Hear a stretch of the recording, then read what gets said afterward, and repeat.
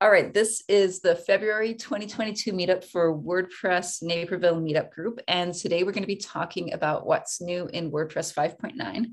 And I'm the organizer, Claire, and my co-organizer, Stacy, is going to be talking about um, 5.9 as well. Um, I am going to chat in the chat the um, sort of an intro page and where I'm getting my, it's sort of the outline of a presentation and um, it's a website where I'm going to be doing this demo stuff uh, as we talk. Um, like Stacy and I were briefly saying, WordPress 5.9 has a lot of new stuff. And if you're looking around the internet, you're going to see some videos and tutorials that tell you about how great it is and how different it is. Um, and okay, um, you might not see that on your site, because there's a lot of new features that don't appear on every site. There are some new features that do. So first, um, let's talk about where we are in terms of the overall development of WordPress. Um, WordPress 5.9 represents phase two of WordPress's sort of overall Gutenberg roadmap. Um, phase one was the block editor, which was uh, introduced in late 2018. Most of us switched over to it in 2019. And that was you know, a change from the classic editor where it was very blog-like and it was sort of like a Microsoft Word interface into this kind of modular layout, more like a page builder. And now we're in phase two, full site editing, where the entire site, header, footer, sidebars, and everything is treated kind of like blocks or templates you can edit right in the interface.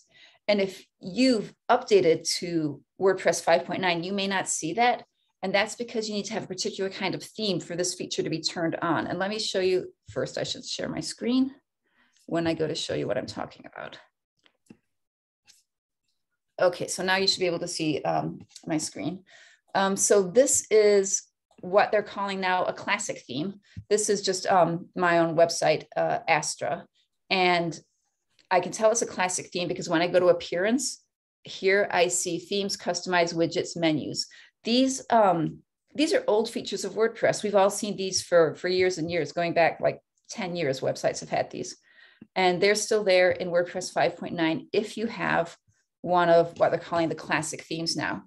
Now, here is a website that has hey, Claire. Um, yeah. Can you um like double click on the top browser bar so it extends the whole Sure. Just for people who have Thank bad you. eyesight. Thank uh, you. Is that better? Great. Yeah, I can never see on Zoom either. So uh, yeah, please sing out if you can't hear me or see something I'm talking about. I sometimes lose track of what window is where. All right, so this is a one of the WordPress, um, they're calling it block themes. They're also calling them full site editing themes. And you can see that under appearance here, we have two things, themes and editor. Menus is gone, customizer is gone, all the things, uh, widgets are gone. The things that we were used to um, building our site out of for years and years have disappeared um, in the new block themes. Um, WordPress has always been pretty good at being backwards compatible so that a site that was built, I just recently got a client with a site built in 2014 and it still works perfectly because they built it right in 2014. Um, all the old stuff is still going to continue to work the way it did work. But if you're building a new site or if someone comes to you with a site that's been built very recently, um, you might see something like this and you might need to know how to deal with it. So tonight I'm going to be talking about new features in WordPress that are in classic regular themes and sites. And Stacy's going to be talking about some of the cool new stuff in WordPress 5.9 that you see in the new full site editing or block themes. Um, caveat, if you don't know me, I'm not a designer things I do work but don't look pretty. So when I show something, it's very utilitarian. And if you have any kind of design skill or CSS knowledge, you'll be able to make it look prettier than I do. So that's why my demo is very basic. Um, where am I in my things? So like I said, uh, WordPress 5.9 has a lot of cool things, supposedly, and some of them are very hard to learn how to use. Um, one of the, Sally, one of the cool new things that was particularly hard to learn about was is the navigation block. This is the new way to build menus. Um, so I'm going to start editing my page. And um, has everybody seen the chat window with the link to the page that I'm talking about so you can follow along in your own browser? It's in the chat window. It's just um, my website and it's what's new in WordPress 5.9 is the link. So while I'm editing, you can also look uh, and see what the page looks like in your own browser. So we still have in a classic theme, we still have a way to add menus over here in under appearance menus in the admin panel.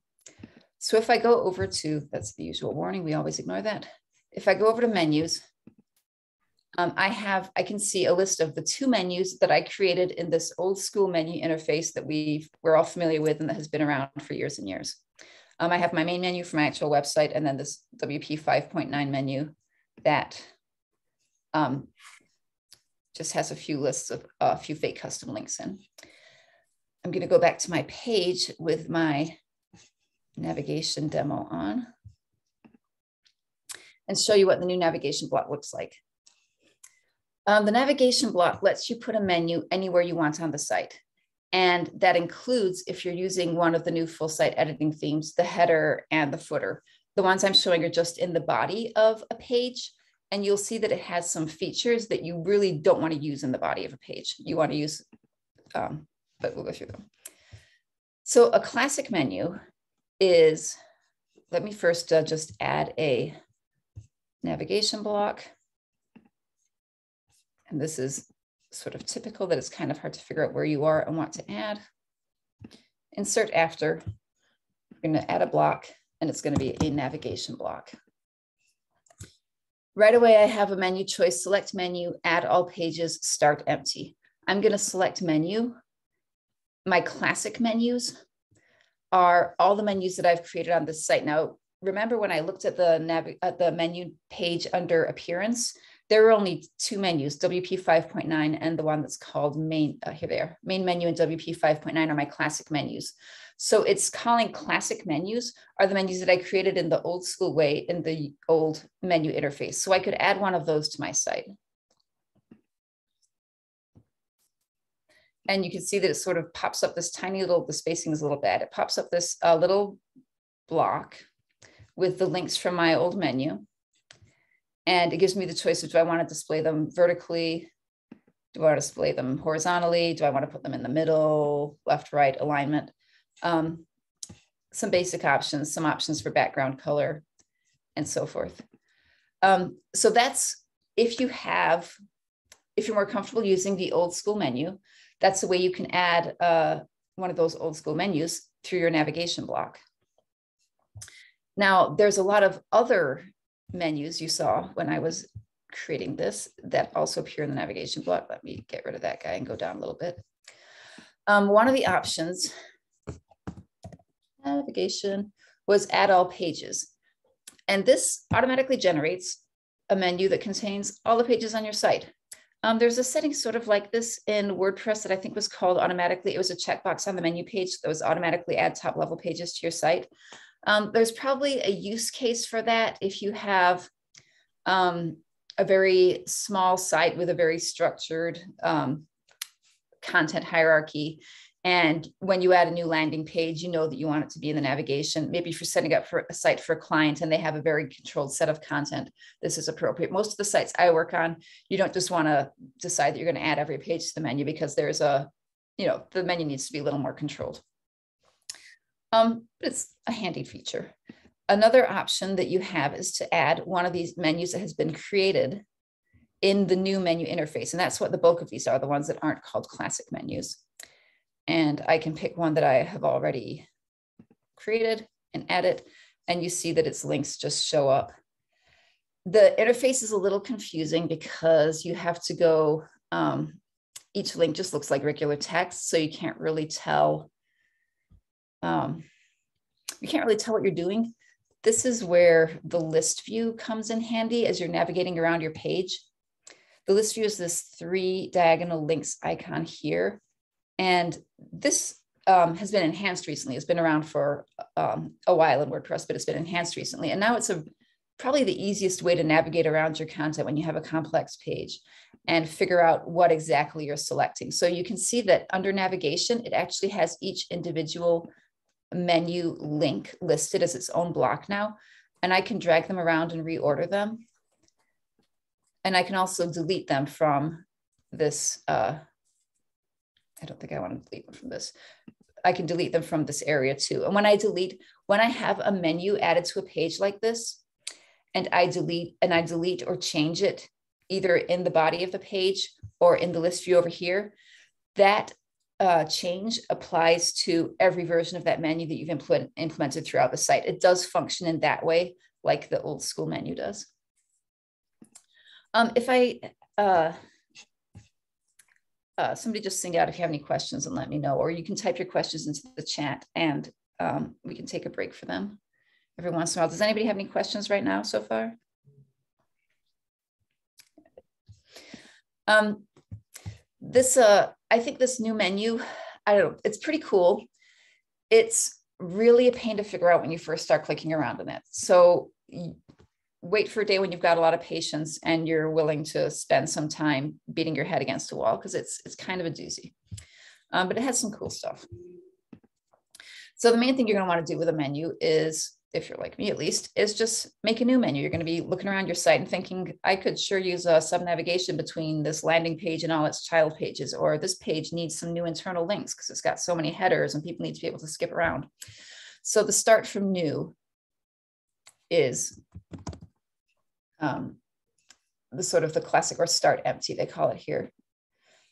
And this is where the interface, I think, really breaks down. See, I, I clicked start empty and you see what happened? It just disappeared and I have this plus over here. I know because I've spent four hours trying to figure out how to do this, that when I see this wide horizontal bar with a plus over here, it's ready for me to add a menu link.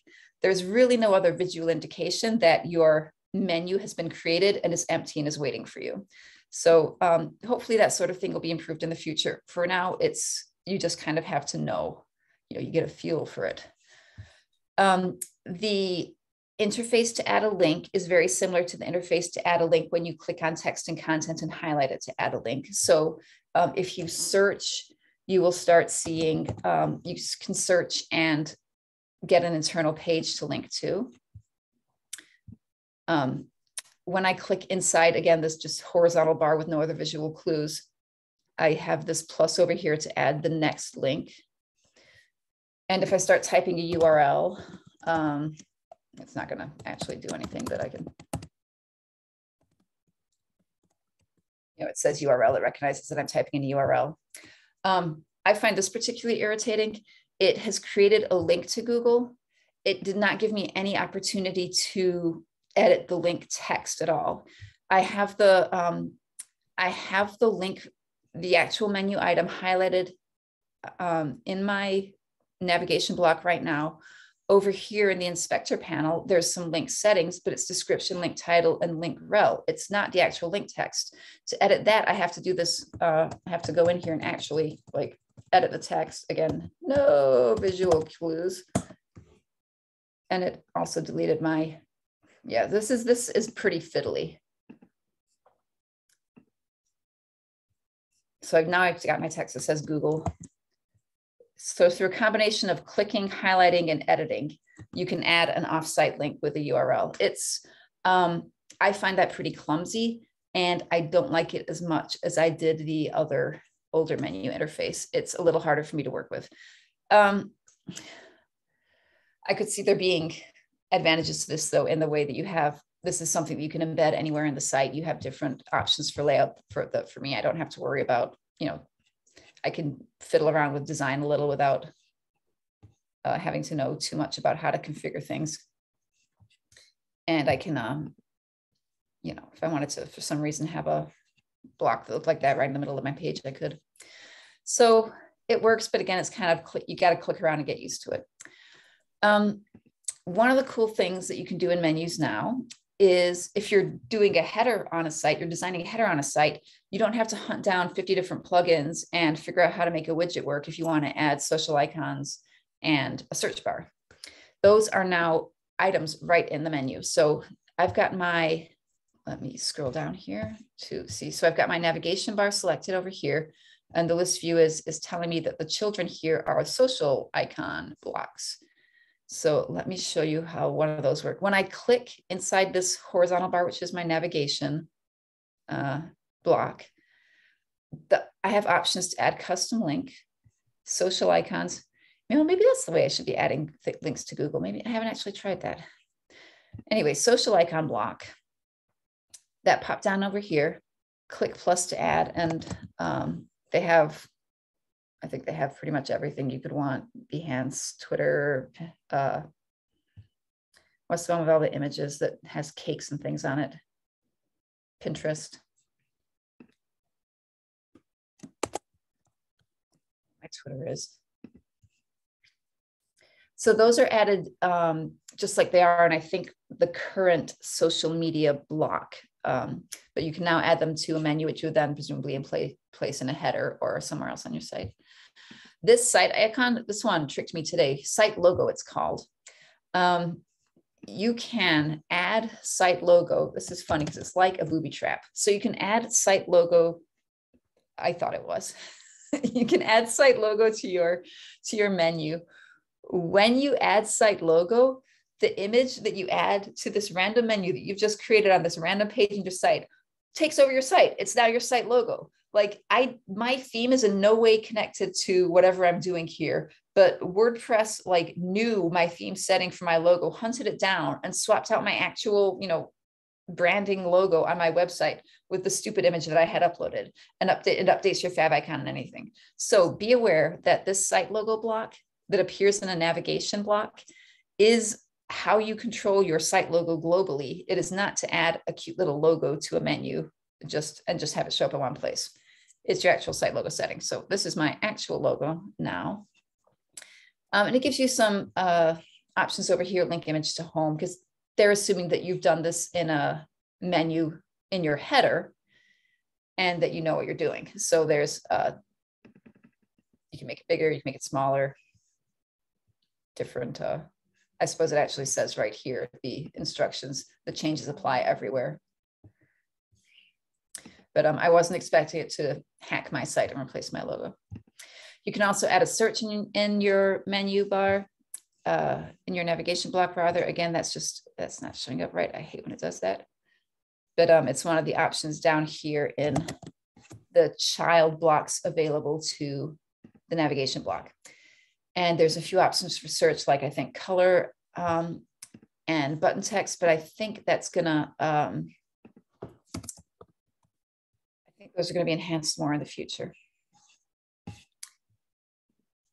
Um, any questions about those particular child blocks? I'm to show a, another cool feature of menus that has resolved a technical issue that we had in sites recently as last month.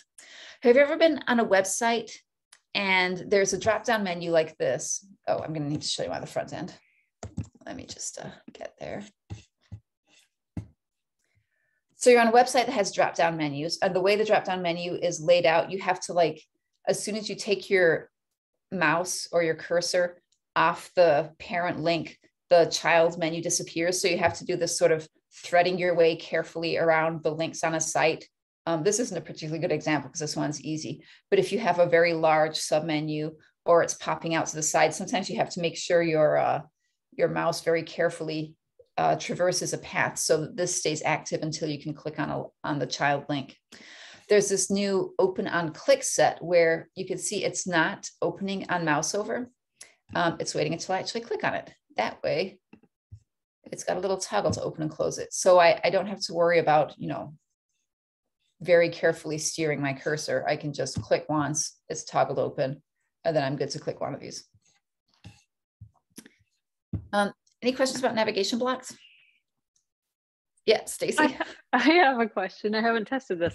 Um, normally, uh, when I style a site, I look for the classes that a navigation bar would come with normally. Yes. To style the active or like parent child relationship. Yes, and that actually reminds me of the other thing that I needed to talk about. So the classes are down in the advanced section, if you click on navigate, if you have, or if you select your navigation block, which is now just easier to do in the list view, I basically have gotten used to just having my list view open. Um, if you select your navigation, it's down under advanced and you have your additional CSS classes here. Uh, Does it add active? Like is active is current page like the old navigation question. would if you were on that page? Like if this is a anchor link menu, we'll say, or like a little mini menu and you have like four pages for an event or something and you're on the registration page but you want to keep that menu consistent between all four of those mini event pages i don't know if it could because how would it know let me see where's my well does it do uh, we'll we'll take a look when i do the full site editing to see yeah. if it knows because it's the same block it's just right so so i have this claire's demo pages menu and it links to a page and basically on this page would it know that it is now right click right click yeah. and inspect let's see what the classes are mm, current menu i don't well it it knows it's current. Yeah. Okay that, so right yeah, there. so that's cool. so it has that so if already page um, current right. you can't really tell because i don't have the correct styles on my site. Yeah. but so if you create so what we're saying is if you create um, a menu out of pages on your site that menu that you created can automatically tell when it's on one of those pages in itself and it will be able to you'll be able to style it or your theme would even apply the styles automatically. So i'm on my gallery and images updates page here and i included um, a menu that contains that page it if i had correct styling in my theme it would have highlighted that um, let me also show you so when i go to add a navigation menu uh, we saw that there were so many menus to choose from. And, oh, go away.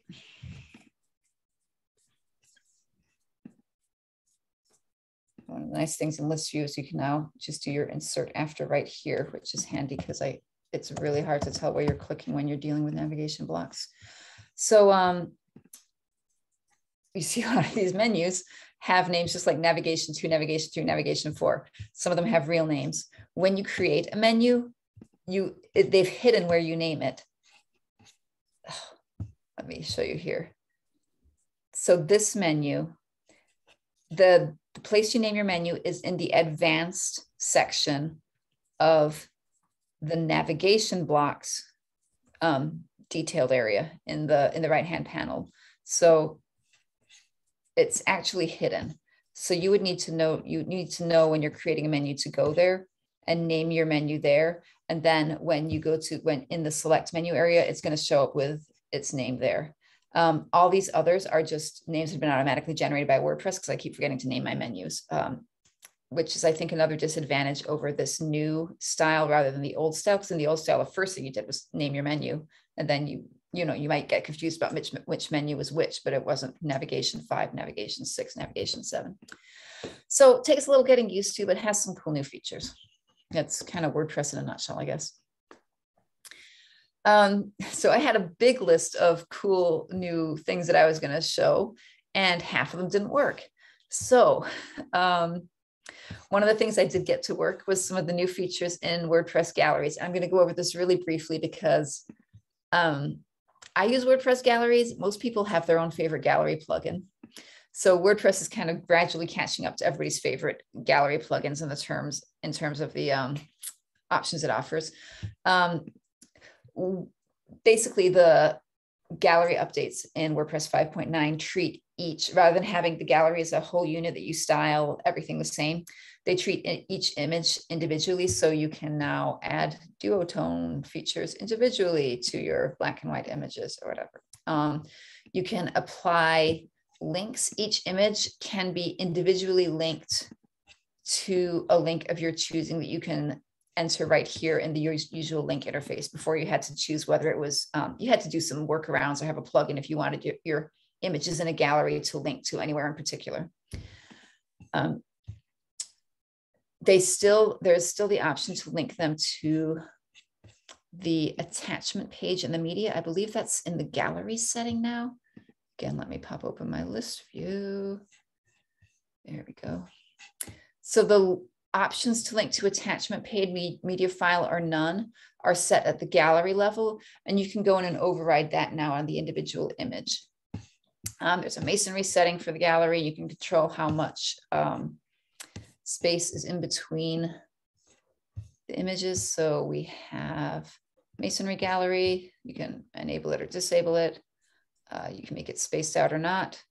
Um, I could not figure out how to reorder the items in a gallery. You can't drag and drag and drop them in, in media library. Maybe it works for other people, but it wasn't working for me. So um, if you see a tutorial online with all the cool new things you can do in gallery, um, just be aware that maybe not all of them work. Maybe some of them work in the full site editing themes and not in this in your particular theme on your site. I got about three of the many cool things to work. I don't have masonry as an option on the full site editing on the block oh. theme. Block, gallery block. Weird. This this update is maybe a little half baked. Yeah. Um, that's weird because you would have think they'd had I assumed that what I was missing in um I saw a tutorial where they had this really cool effect where the edges of the individual gallery images were um, rounded so that the whole gallery sort of fit into this this round oblong shape and it looked really neat and i could not figure out like they had a screenshot of the settings i could not figure out how to find those settings.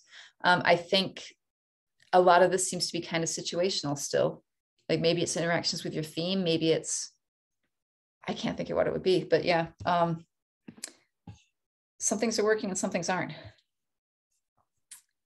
Oh, this one. So my next example is absolutely terrible. I was all excited about the new updates to featured images because it solved a problem for a client that I was having like this week. Um, I had a situation where I needed to be able to tell a client um, to define a particular featured image size, and then the client wouldn't have to worry about resizing or anything. And so I was pretty excited to see, oh, that's interesting. It didn't update my menu when I changed the URL on the page. That is another, that is another demerit.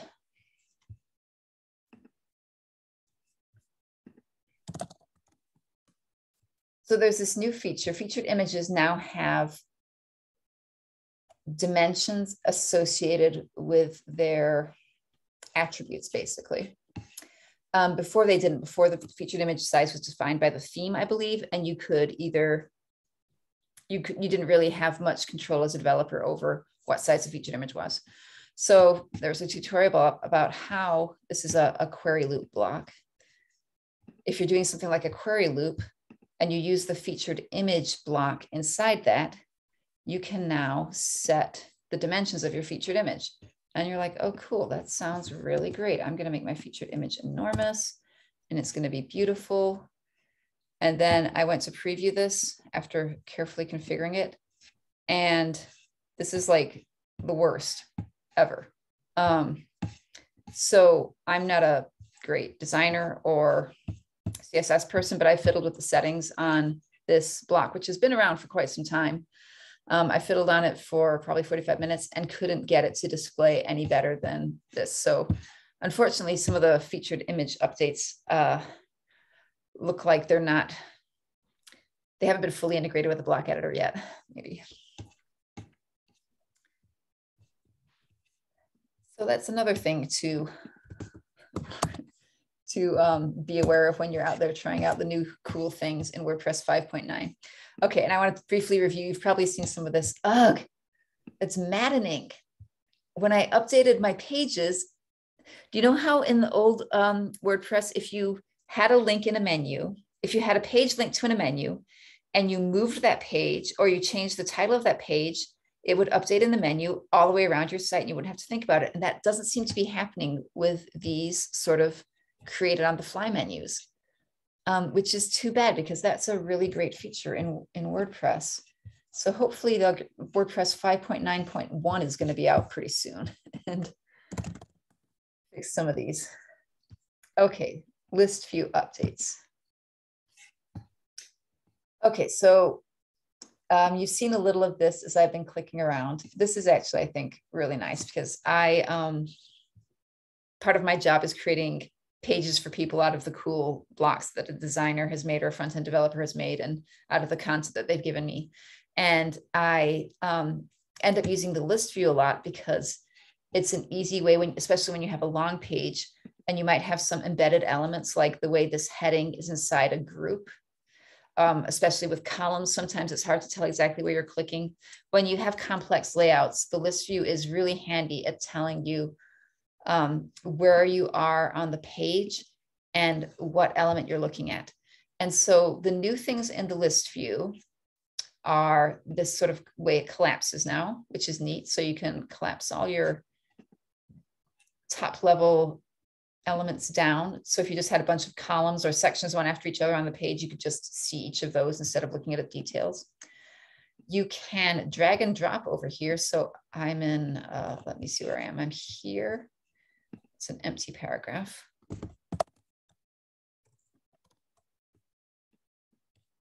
I can drag and drop my new paragraph all the way down into a different group.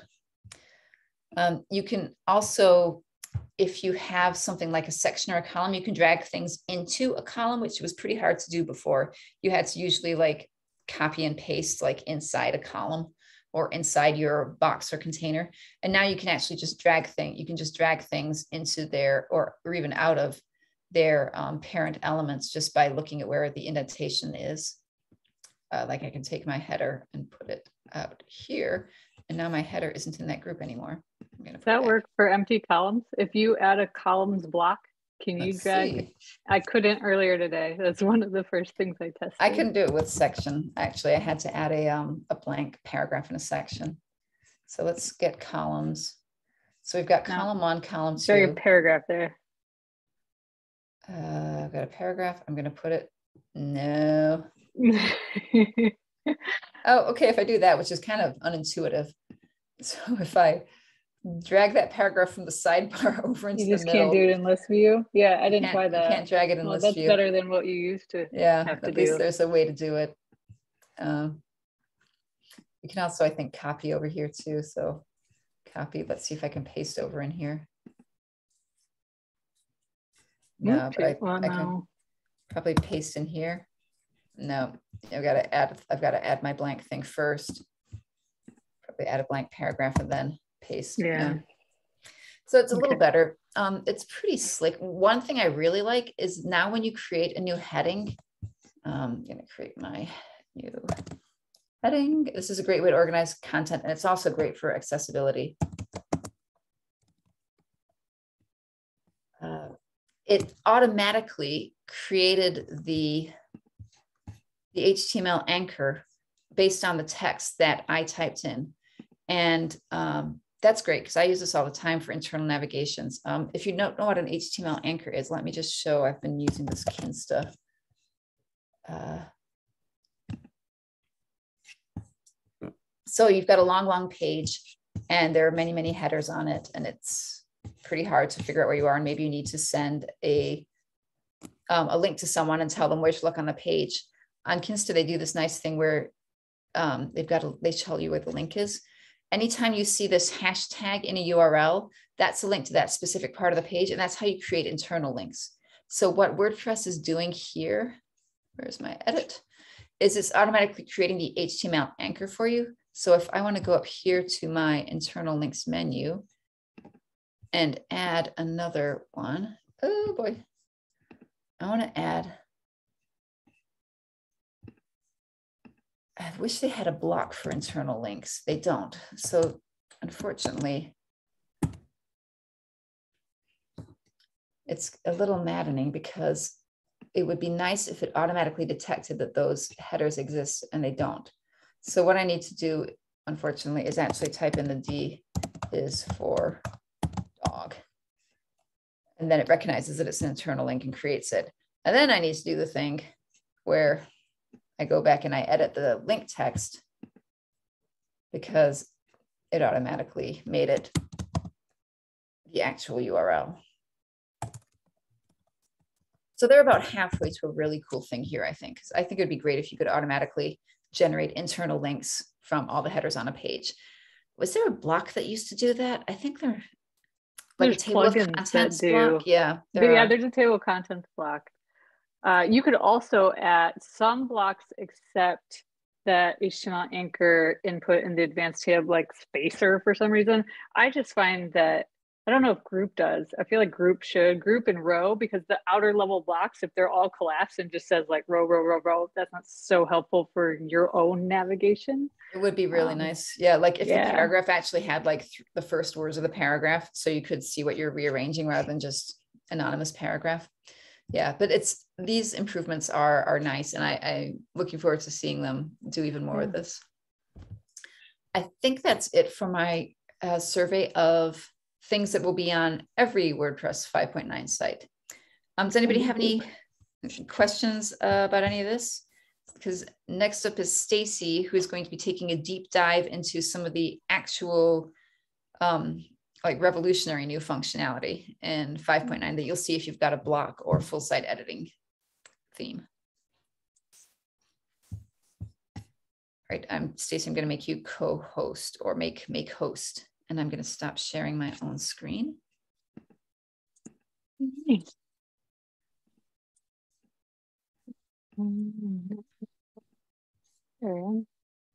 Okay, you should be able to share now. Super, yes.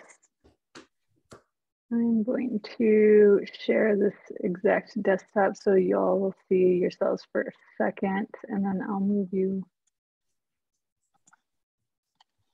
here. All right.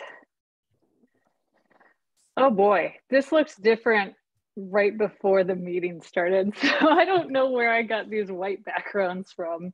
Um, but we will we'll play some games together at the end and we'll do do some trivia to see if we can figure out how to fix some things. All right. Claire did an excellent intro to what a what there's like those four types of themes right now, and it's like block theme and then universal theme, and is there like a classic theme, and what was the other one? Well, basically, universal and hybrid are sort of combinations of are they classic or are they like? Do you also see your old appearance menu, or do you just yeah. see the new site editor? So there's there's there's two things now, and then there's like themes that have combinations of those two things and that will probably be the majority for at least a, a few years i imagine like i i don't know if i would recommend anyone like converting their site to a block theme right away um, that seems more like something you might do if you're going to do a redesign or whatnot but um, it's it's a different experience. Uh, I know I've complained about the WordPress menu editing system for years, and now we have a uh, a system in which you can see the menu on the page, and I'm still going to complain for a little bit. Um, but I think I think this path will be a much better one um, as we move forward. And this is still super early, so I know that a lot of these kinks will will work themselves out. Uh, when you log in, you still see that same 5.9 like Claire showed earlier. Um, and then the appearance menu only has the two options. One is to install or activate a theme. The other one is to go to the editor. I don't know why, and I don't know if there's any way to, to change this, but um, you go to the home page template by default, I believe. Um, and that makes sense if you know what you want to do is edit things or preview things on the home page. But one thing I miss is the customizer let you navigate throughout the site and look at what it looks like, what changes look like on other pages. I don't know if I can do that here or if I can only see changes if I'm on a post template. Um, I'll show you what I mean in a little bit. Let's go over some of the full site editing global settings. Uh, instead of that list view that we lived in for all content related things, we're gonna go over here on the right hand side. There's an icon. It looks like a little contrast icon. Uh, we'll click that and right now it's sort of a basic set of options um, that you may have in your customizer from your old site. Um, these are more global uh, settings that you can uh, choose to apply to the site or at least build palettes. You have a theme with certain color palettes, so your brand palette that you might want to apply. Um, so right now we have three options. Let's go explore in typography. We have text and links. Let's go in deeper. So in the text, uh, you see uh, your font family, which is only, it, this is determined by the theme itself. So your theme actually has to load the typeface, the font file that you would see in this dropdown here. System font is just whatever your computer would run if no font was selected. Um, it is the like fallback of any font face. Um, and then this theme, the 2022 theme, loads Source Serif Pro, and I can show you later on how they do that. So those are my two options here really. Um, so if I changed it to Source Serif Pro, uh, you can see the menu already updating from a sans serif here to the serif. That's nice. So we're gonna keep here. You can set a global type size that will apply. Um, so if you just in general want everything slightly bigger or smaller, you can mess with the setting there. These are kind of like your body styles that will kind of cascade down depending on what settings you have for other specific blocks. Uh, 1.6 line heights, sort of just a general, this is how much space between the lines of text. And for appearance, you have different, uh, mostly font weights, but also font styles. Uh, you might see the italic version of a typeface if it's one that's loaded. I believe the Source Serif Pro is a variable typeface, um, which means it has like lots of different options and it only loads one font file, which is great for performance. So those are our high level type text features. Now there's also a links option here, which is if you want your links to have a different typeface, different font family, a different size, which then gets weird because this is a link and this is a link. Uh, I find the size on links is kind of a, my mental model can't make that work yet. Um, I guess if there's some overrides in place, maybe that makes sense or maybe you always want your links bold. That sort of makes more sense to me. I can see why you would maybe want that to be a setting. But for me right now, I think I'm going to avoid styling the type of links uh, at a high level and let it inherit from whatever the styles, the, the theme or the, the body is telling it to. Colors is where it gets pretty interesting. Um, you can start by creating a palette on top, it will be the theme colors. So these are the colors that whatever theme you're using, or if you made your own, these are defined in that theme file. And I'll show you where those are defined by default. However, um, you can't you can't add new theme colors. That has to be done in the theme, but you can edit these options here. So if I didn't want this green, I can go to edit this color and make it, we'll say like a, a lime green. Okay, so there's my new, what, it, what was it called? I didn't even look. Primary color, which might be actually problematic. I'm gonna make it a little darker. Stacy, do you know if people who aren't administrators can can anybody edit one of these theme colors? No clue. um, I hope there's there's likely some ways to lock it down. Um, I'm always the administrator. I'm sorry I didn't do that kind of research. Um, yeah, you probably wouldn't necessarily want everyone to edit the the overall global look of the site. So I'm sure there's there's probably some role, primary role of of you know assigning what can be done here. Uh, we will write note that down to look up which yeah. which permissions you have. Um, there's also a bunch of gradients. So the theme gradients are assigned at the beginning. You can unregister if you're using a theme that you um, maybe created a child theme from. We'll, we'll talk about that in a bit. Uh, you can unregister these colors as well. So you don't I know I said you can't remove them. You would have to do that at the theme level. So there's ways to remove these options completely so no one touches any of them. Default, again, same like, like with theme, you can't remove them. You can't add them. You can only edit them unless you're working in the PHP files within the theme. It's the theme files itself. This is getting confusing. A lot of these words are very generic. Um, but you can add custom colors. So let's say you want to add like this nice tealish color. We're gonna call this teal. We're gonna call it custom. Now I had custom colors earlier. I don't know where they are. Uh, that's kind of concerning. I had a plum and I may have had a purple color, but now I have a custom teal color. Super. Now I'm gonna save that.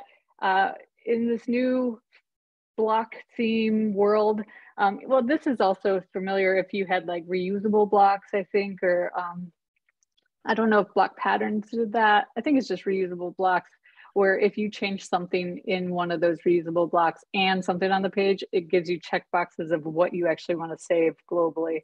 So that's just saying it's going to save this um, style and apply it elsewhere. Yeah, okay, still has my custom color. All right, and now I can go into any of these other options and assign a, co a color from my palettes. So I'm gonna keep this uh, white background in general over the whole site. If I change it to a dark, uh, it doesn't do anything there, but that, oh yeah, there it is. I to scroll down. So there's what a dark background would look like, etc. I can change that and that applies globally. And then I could also change text if I didn't overwrite the text on some of these perhaps. I think my menu links are really light now. Now they're dark. Okay, it's not a really good example since these seem to have their own style somewhere. Uh, that's one fun thing about this is sometimes you don't know where a style is coming from. And then this link color, again, I think it changed this. Yeah, it changed this link, but this is a link. That didn't get changed. Um, so that there's some override on that.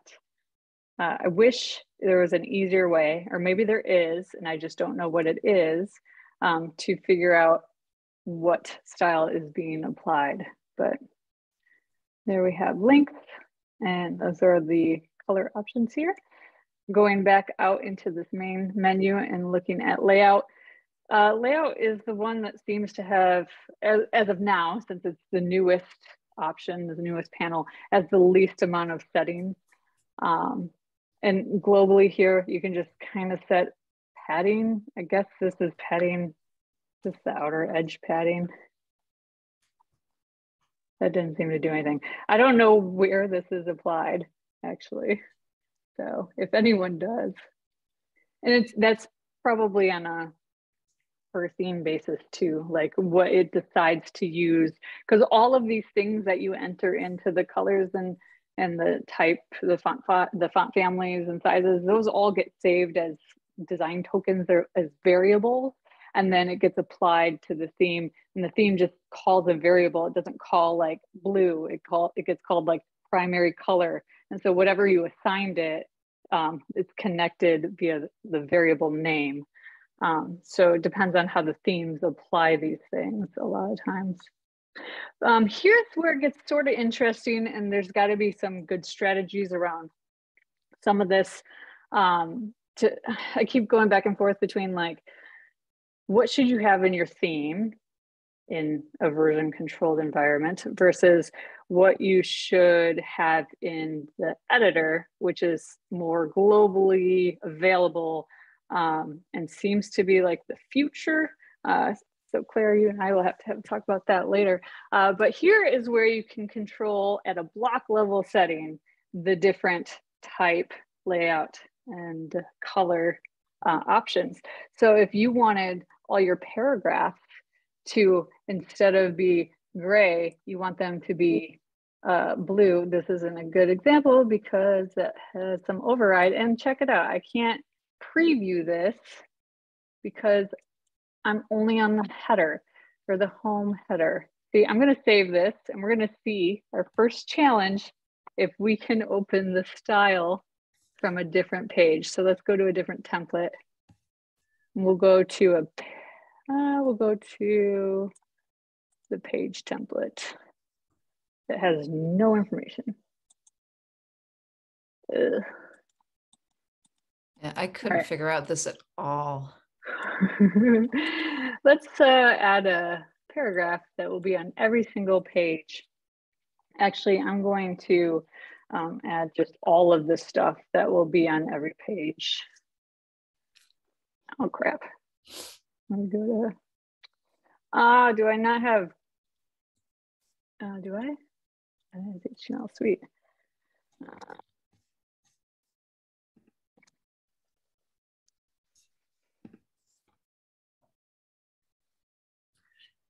oh, come on. Sorry. No, sorry, go ahead. I was going to say, I wonder if your paragraphs on the homepage aren't changing because they're excerpts. And that's oh. like a distinct oh. thing. But, the, but why would they be a different color than? I didn't like change the excerpt color. So that must be coming from the theme. Here, this is a, okay. All right, I have all right, so I have a single post. Okay, good. I can access this. I'm still in the site editor um, because I'm in a different post template. Let me see if I change. Oh, but blocks, paragraph, colors, and the text is now, okay, there you go. So I can preview it if I'm on a single post.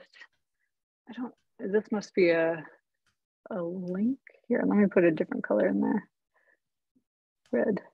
Why is this a paragraph? Okay. that doesn't make sense. Ah, this is the last like two days, Claire and I just experimenting with things and wondering what is going on. All right, so if I wanted my paragraph to all be a super light color or a different color, this is how I would do that. Um, find that helpful in very narrow situations. For instance, if I want to create a button style that will be the primary button style for the whole site, I might go in and change the button settings. So I don't have to hire someone who knows how to do CSS if I want a custom button style that fits my theme. Um, I can just go into the site editor and find button and then go to colors and then I can choose one of my colors here. Um, maybe I want this with, that's the background color and then the foreground color. I chose the light one, so I'm gonna go dark. Um, I don't have a button on this page, so we can't preview it, but we will look in a moment.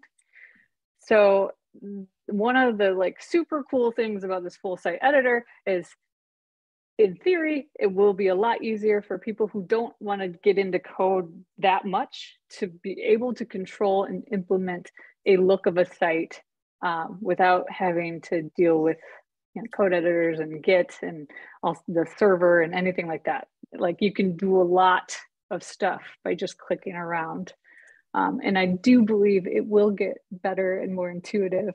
Um, and we're just so trained to, to looking at it in a certain way that some of these, sometimes these new things just don't quite make sense.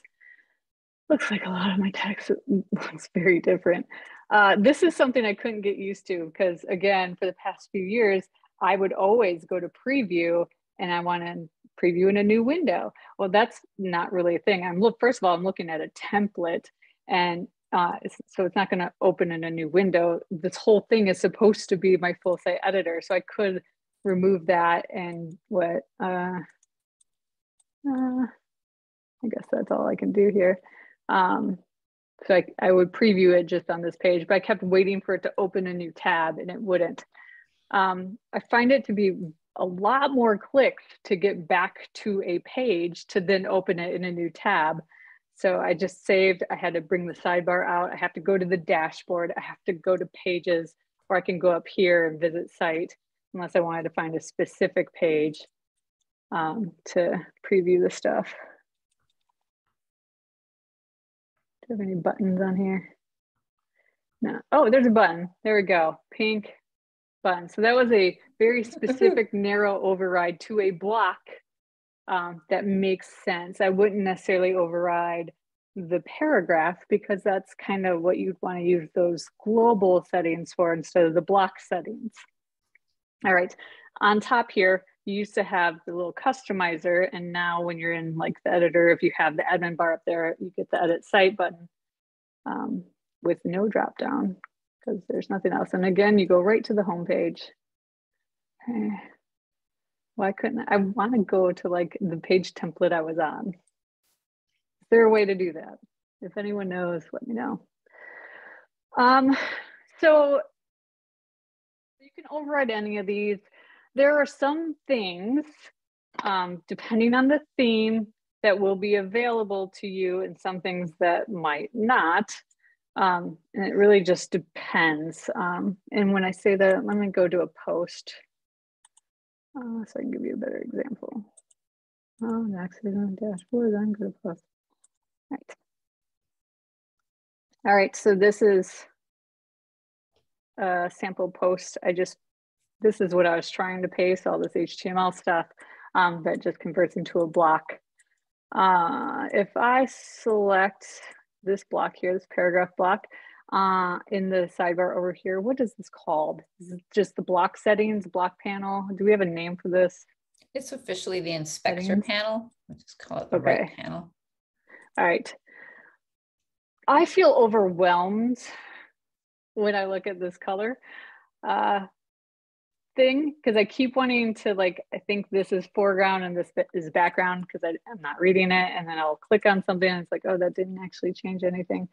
Um, uh, you can clear if you made a mistake, but you'll have to look at the little tiny heading on top of the color swatch that is currently used. So you have your text color, your foreground color, basically your background color, and your link color. However, uh, I can't for the life of me, and maybe there isn't one, see any way to edit the link state. Um, and I don't know if that's a theme thing or a WordPress thing, but I want to assign both a color for it, for it's like, hey, I'm a link, and then I want it to be a different color for the hover color, or maybe even a different color for visited, or uh, if you're, you know, focusing on it when you're a keyboard user, maybe you want to set the color for that. Uh, and I don't know if there is a way to do that. Um, I think what I've seen at least this theme do is add like an opacity to the hover state. I don't know if that's uh, something that everyone's gonna have to do um, or if that's just here, but that's definitely an accessibility issue um, because you wanna make sure if there, if the theme is automatically adding some sort of opacity, you wanna make sure that even with that opacity applied, if you're hovering, it still has a high enough contrast with the whatever color you chose as foreground color. Um, but I assume that that's one of those things that um, they're working on. And if I went to GitHub, there's like a gazillion issues. Um, and you know, if you ever have an issue, feel free to post it on GitHub so that they bring it to their attention. Uh, so yeah, link color, I just want states for the links.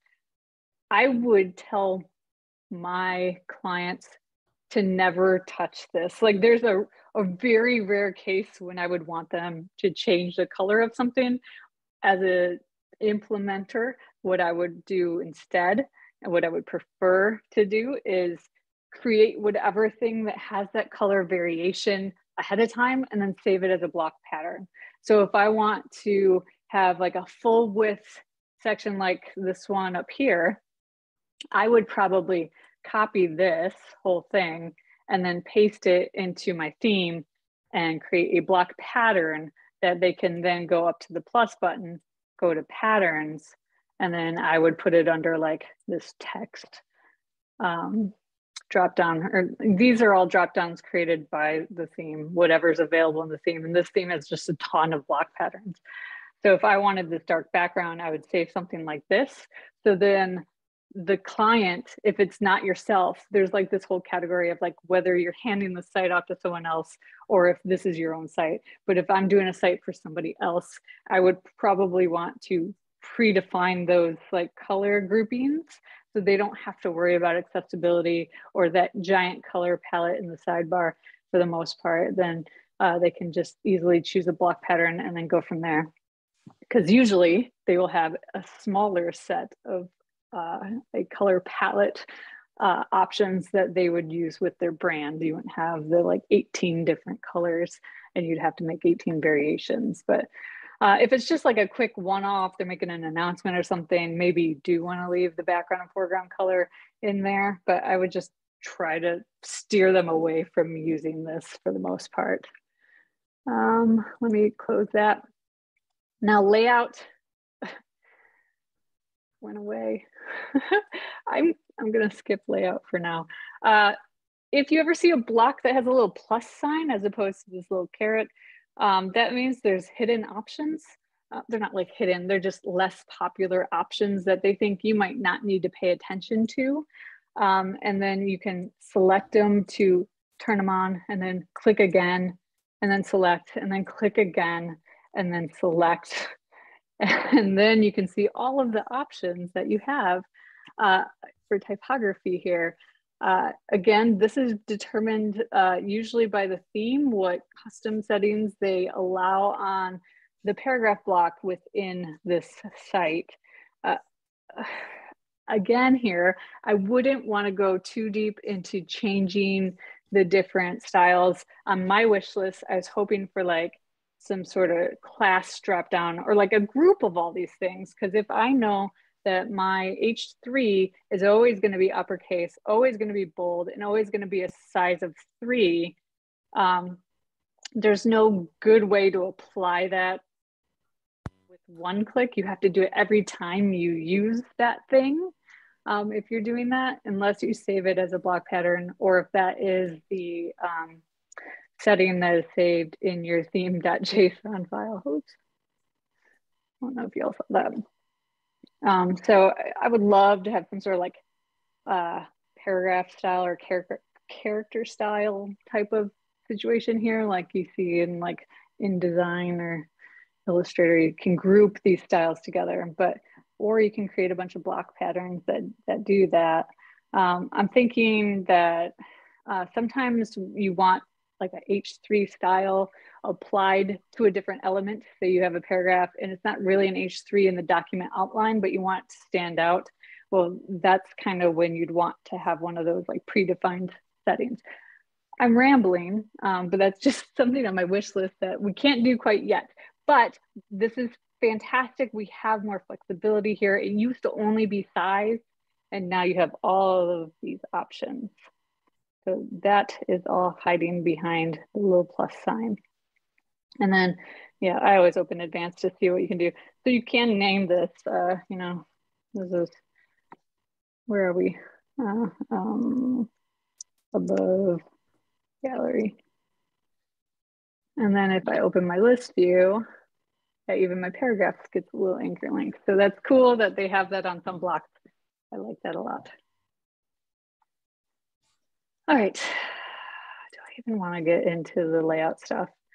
Uh, all right, I clicked on a group here. There is this layout option and you can inherit the default layout, which I have no idea where the default layout is created. Um, I know there was that dimensions block in the site editor, but all that had was padding. So I don't, I, I think this is defined in the theme, but there's no way to change it to my knowledge, at least none that I could find in anywhere in the browser.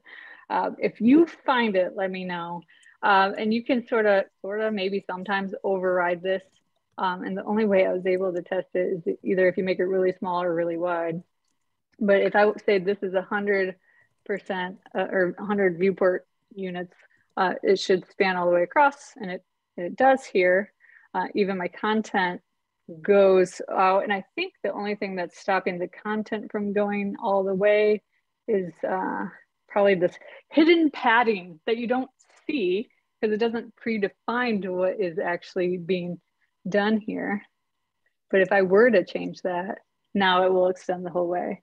So that's another wish list item is um, if I get the ability to change some of the stuff, and this doesn't look the way I think it's supposed to, if it can expose the the things that are already being applied by the theme, um, that would be super awesome because then I could more easily figure out why it's not going all the way to the edge, for instance.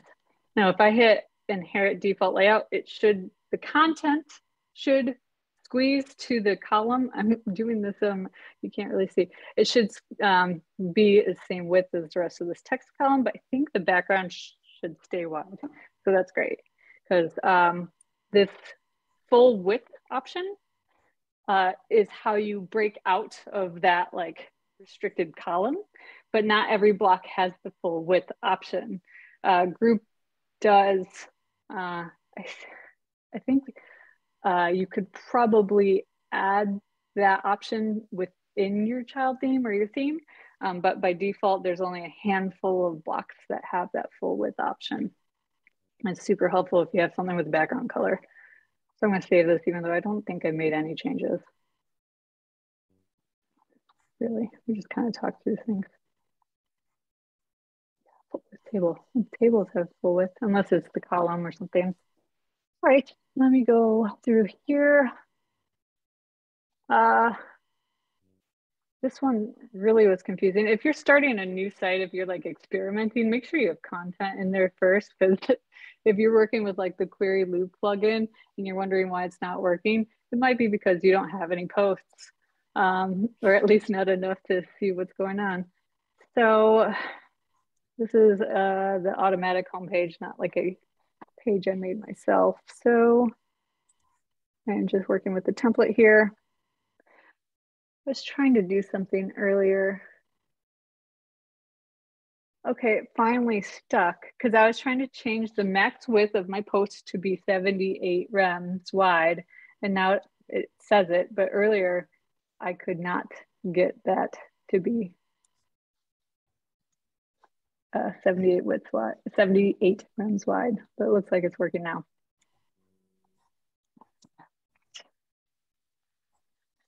Okay, so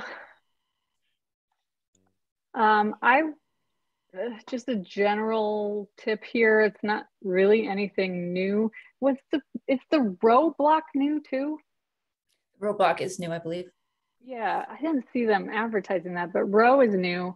Um, and it, it's sort of what I would normally use group or section for. I think it has different default styles than group um, but it will take that content all the way to the edge if you're trying to do um, like a full width background color and then something else that is restricted to the the you know you don't want your text to be too wide because it's not readable um, so i highly so, recommend recommend using those types of blocks so it has like a, it's like full width but there's like internal margins for whatever it contains yeah okay. yeah that's good yeah that's um, and we've Claire and I have used the Ultimate add-on for Gutenberg um, specifically. Well, one thing I use all the time is the section block, and I love the section block because you can change what kind of um, HTML element it is, but you can do that here on row too. So that's great. So I can change if I if I wanted to make a header, I can actually make it header and it can be semantic. It's not just a div everywhere. So that's nice um, as an option here. The thing that it it doesn't really have um, well more like columns. Uh, you can you can choose to stack the columns on mobile, um, but you don't get like fine grain control. Like sometimes on a theme, I like it to be three or four columns when it's at its widest point. And then once you get a little smaller, that four columns breaks down to two columns, so like in between sizes. And then of course it's one column when you're on the smallest screen size but here it's it's kind of all or nothing. Um, I mean, at least they let us stack it on mobile, but I, I have a feeling the the page builder plugins or the page builder themes will stick around for that reason uh, alone is to control the when the layout needs to shift to make sense for that device width. Um, but I do believe they're working on it. It's just this is where we are now. Uh, they have some controls for like the navigation. Claire showed that you can do the mobile menu um, and you have a few options for that. But right now it's kind of limited um, in, in that way. Uh, so before we made themes, we would always, uh, well, not always, if you made a custom theme, you made a custom theme, that was fine. Another way to do it was to choose a, an existing theme or a premium theme and then build a child theme off of it. Now with this block theme business, um, I, I don't know how necessary a child theme will be anymore. I'm super open to having that discussion. Um, I don't know how often these themes will be updated because uh, I can show you what 2022 looks like. Uh, and one of the super great things about these new block themes is you don't hardly have to know any uh, code to write it. I don't want to say that. I mean, there is some uh, like syntax that you have to understand, uh, especially for this theme.json fi file. This is like the bread and butter of the theme, which I'm going to talk about in a little bit.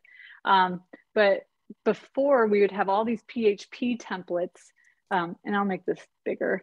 Um, now all of our templates are HTML files. So if you look at what a page is, uh, it's it's the same type of like angle bracket comments that you would see on a WordPress post or page, but this is just in a straight up HTML file. And what I think it looks for this like block group um, type of definition here. And then it, it, you tell it, you know, in these little uh, comments here. The same with uh, what you would do when you make a page, it kind of gives it a little bit of direction. So when you saw some of the like weird padding and whatnot, um, it's coming from these inline comments within this HTML file. And I might not always have an option to override those in the browser. So that's one thing to know when you're making a theme or when you're editing someone else's theme. If you can't figure out where something's coming, it might be coming from, it's coming from inside the house. It's in the actual theme. Um, so if we look through some of these pages, uh, like this page, no separators, it's a main div and that's it. And then I assume it closes the div over here. Uh, and that's, that's all. There's no like loop to deal with anymore. It's just pretty straightforward. Even if you take an existing theme and just kind of take out all the stuff you don't need, I still don't know if you need that child theme because I don't know how often this would get updated. And everything is being saved as variables. Uh, so instead of padding, you know, 32 pixels, it's padding this variable name, custom spacing, which you decide what you want that custom spacing to be in that theme.json file, which I'll show you in a second. So that's all of our like partials, our template partials there for the page templates. Um, functions file is entirely dealing with style sheets, it looks like. Uh, so you, you know, you register, you add your theme support for the block styles, and this will import your editor styles so you can style what the front end or what the uh, admin, what do we call that now? Because it's not really a back end anymore. What it looks like when you're editing the site, which it should look like you know, what you're doing on the front. Um, actually, that looks like it's just pulling in the front style sheet. Uh, and then we go down here and this just gets you a version so that it doesn't get cached in case you want to version out your CSS. Not super uh, necessary for everyone to do, but it's really helpful if you get cache styles. Uh, this is uh, enqueuing those font families, uh, which is done also down here. This is editor style. This is including the font families and the block library styles, blah, blah, blah. You don't even have to know what all of this is, but I just wanted to walk through. Here is where they called the font face rules for that um, custom typeface. It's open source here, so you can use this if you'd like to as well, using the source Serif Pro. I think you can get that on Google uh, Fonts library, and then you would uh, do the link to the path here and that's where it's getting that drop down. It's the only font file or the only font family you saw in the drop down. So they're enqueuing it in the functions file. And that's really it. And then this is the magic. It requires uh, the block patterns, which are all saved in this inc block patterns uh, folder here. So we have this inc. This block patterns is gonna be a, long list. Uh, here's the categories and that little drop down when we had this little here and you open up the patterns, all of these categories. Some of them are default WordPress and some of them are custom categories. Um, so like text was default, probably, I, I, can't remember what they all are, but here are the theme specific ones that they wanted to add. Uh, and then we scroll down a little bit more and all of the files in this patterns folder are really just broken down into each one of these is a separate file. And each one of these is created by just uh, making that block on a page, going to copy, and you can paste it into almost a plain HTML file, but it's save as PHP. It, you have this for every single um, block pattern. And the only thing that changes is the title here. Uh, you can choose the category here and then you would name it. This is like your slug, like the little URL to the block pattern. Um, and then the content, you, you take your cursor, put it in between the little two, um, actually right there, and you paste what you made in the editor. So you don't have to deal with any of that. You just make it in the browser. You don't have to know what's going on behind the scenes and then you go and paste it here and that is a new pattern that your client can use anywhere on the site if they wanted like a dark background. This is how i would recommend you do it. You make a pattern then they can easily choose it when they're going to edit the site. Uh, 2022 has a ton of patterns um, and i think uh, it really helps get the point across. There parts. it's, it's, like a different um, a part and a template. No, oh, it's a different oh. sort of a paradigm of what a theme is. Yes, everything is like shifting your mental model a little bit, and I think that's why like my brain is exploding the past two days because while some of the stuff I like know uh, is for the better, it's just hard to wrap my brain around doing it a different way.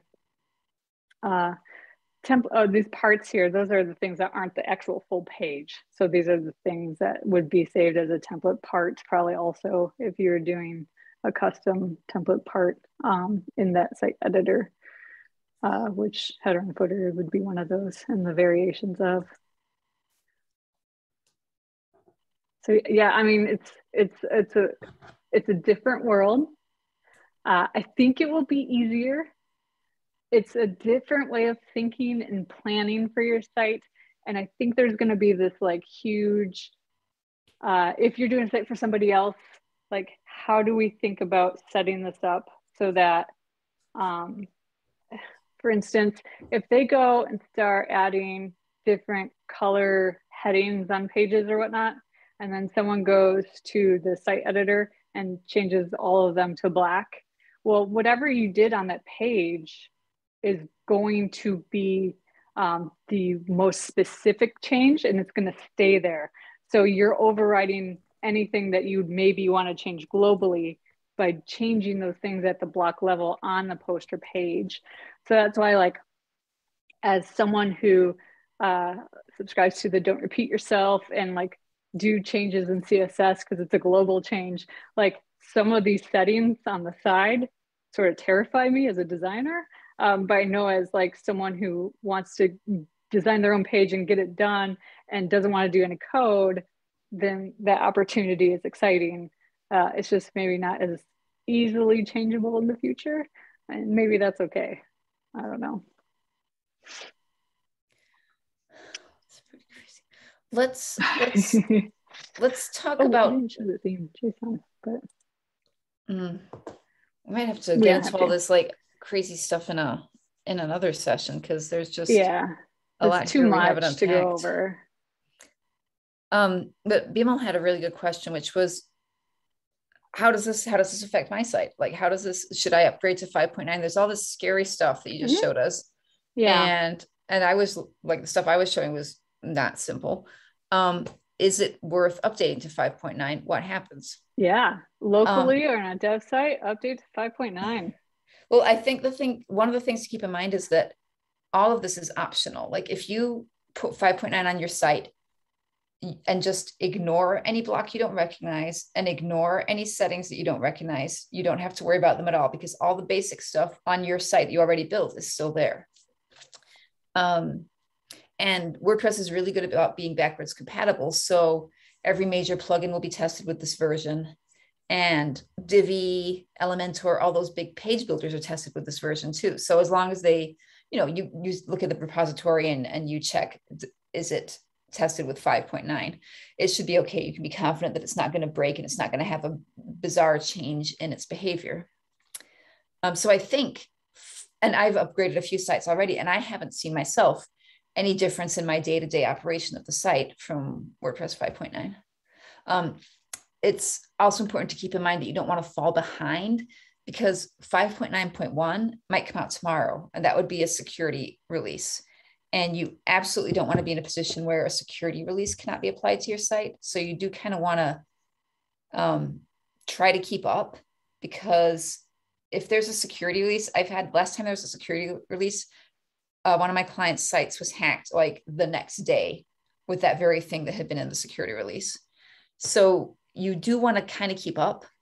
And I think for this for this release, which is, I mean, frankly, for me, my I make my um, livelihood as WordPress. This release is a little disappointing and threatening to me because there's so much stuff here that I just can't deal with, and stuff that is too much for me to put in my sites and use um, easily. Like some, like I like the list view, but a lot of the rest of it is just too much. And um, but I am still going to update all my sites because uh, I can ignore the parts that aren't too much. The rest of it is still there. The rest of it still works. And um, you know, I can just like gradually ease myself into learning about all this new stuff over the course of the next year while still keeping my site up to date with all the core security and functionality updates. That's yeah. It's not much of a change if you're using an existing theme. Not yeah. the big change happens when you decide you want to go to a block theme. That's when everything gets pretty wild.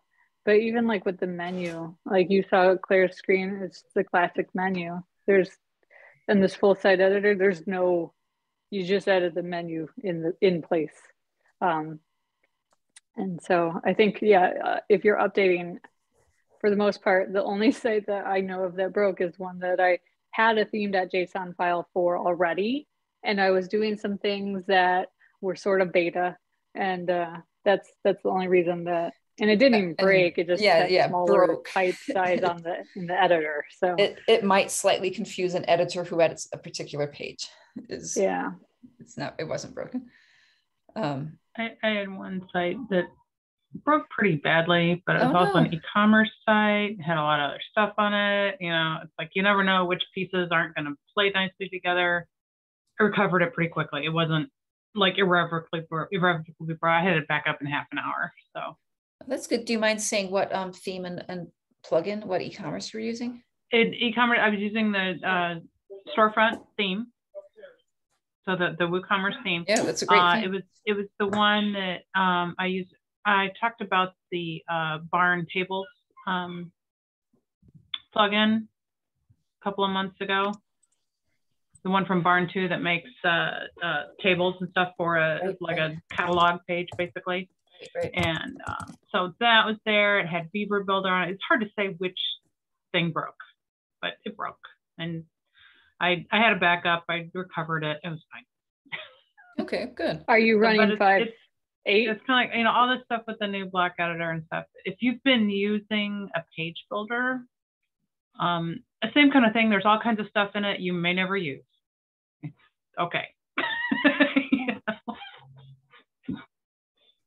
It's yeah, and it, it is kind of a shift in um, thinking about how you're going to do it. My question is, is I if I have an existing site and I have CSS in the in the customizer, where did that go? It stays there. question. It stays yeah, it's there. The customizer. where? it's still you still have a customizer until the moment you decide to go full block only theme. Okay you will still have the customize, right, Claire? Like there's a customizer on the site that we just updated to 5.9. Oh, oh yeah, but if you switch the theme, it would disappear. So where does it go then? Yeah. I mean, it's still saved in the database somewhere, but can you ever get it back out again? Yeah, it exists, uh, but where is I it? bet if you uh re reactivate you well, theme, I mean, this there. is where this is where the hybrid themes come in because um yeah. that's exactly what the hybrid and universal themes are is a compromise between the two.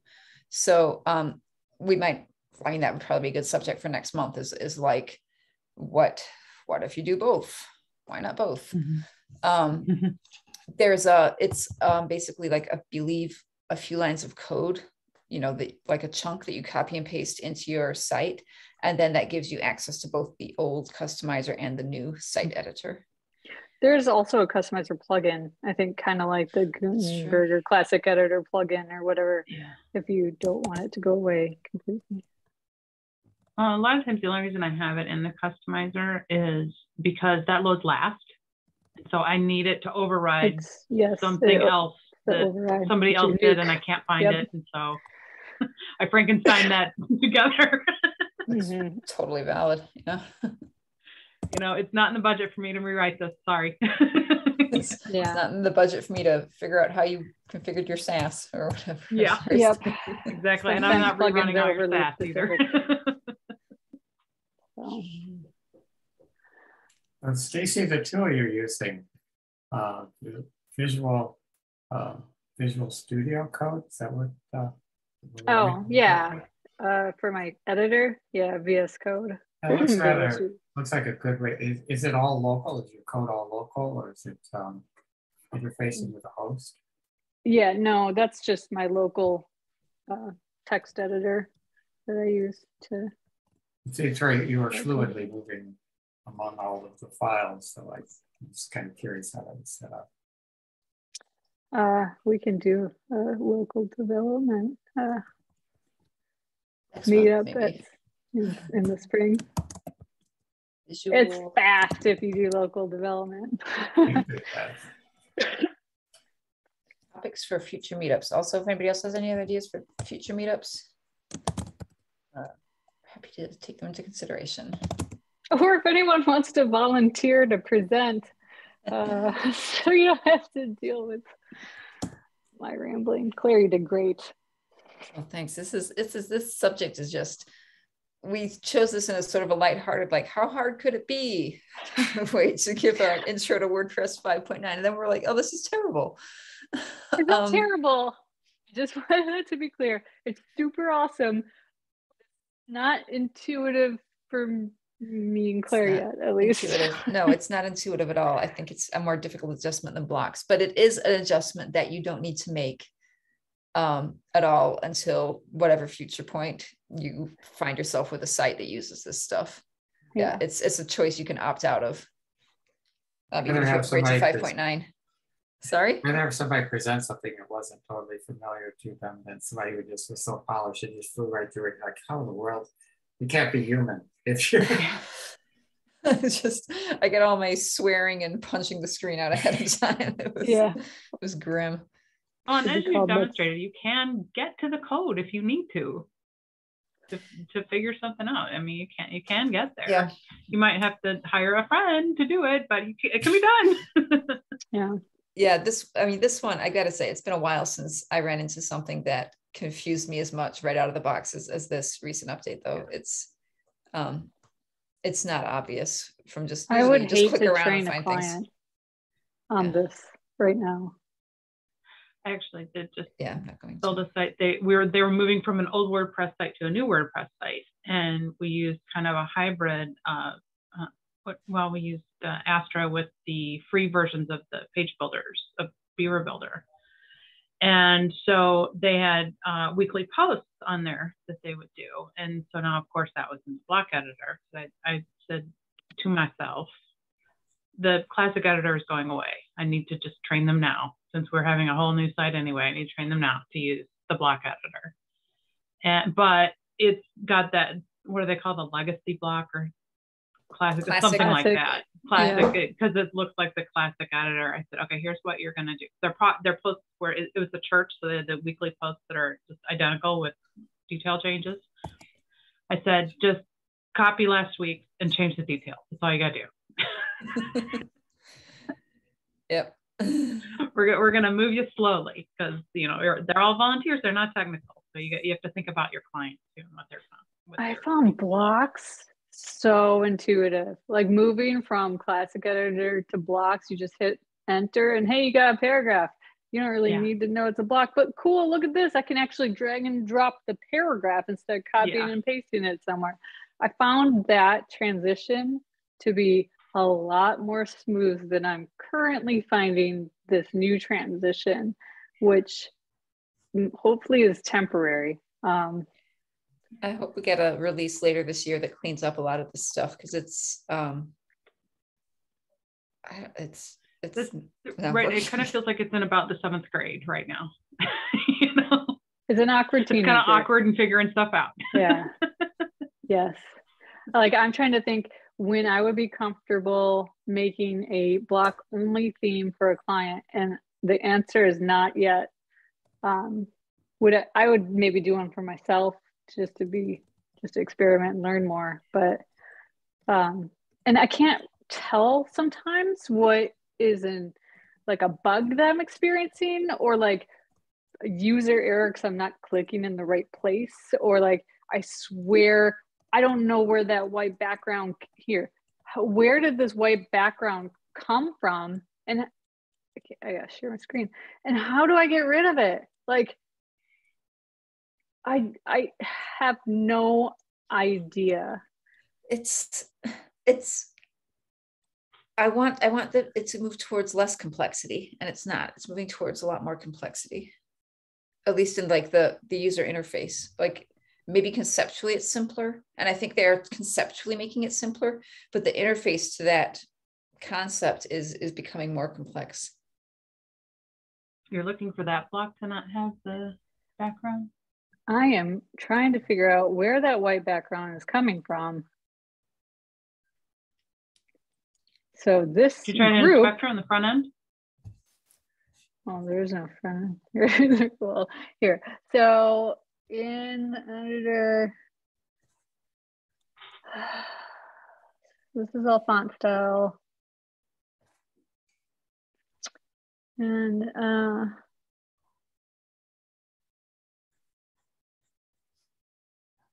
here, if I type in background color, Oh, that's just. That's grayed out, so it's it's coming from somewhere else. It's a preset somewhere. It's not on the. It's not on the headline. Uh, it would be on the block, no. I think. I'm on the wrong. It's, it would. That's not the right.